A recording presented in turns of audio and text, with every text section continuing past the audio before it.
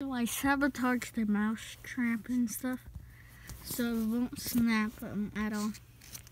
It is pretty cool. It's it, it still works as a normal mouse trap, but it doesn't hurt people.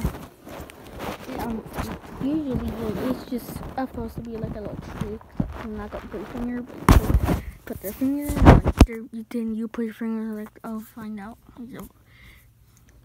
And yeah, it's a mouse trap, but you can see right there. There's the spring is off. The bar right here, the bar. Usually the spring's on the bar, so when it snaps, um, it kills the mouse. But put a Nerf bullet that bends pretty easy.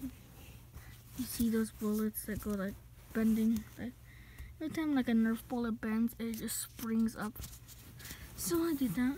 So and does this now. Sabotage. Sabotage.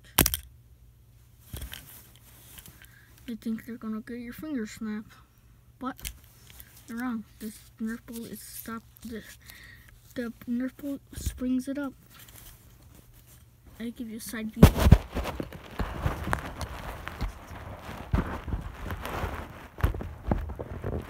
Okay. So there it is.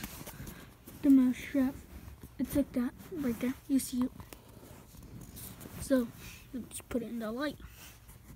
See, see that side view of the mouse.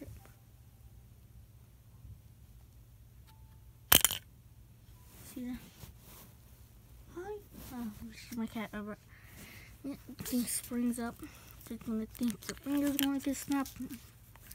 Yep, but nope, it's just trap from Rebolita springs up.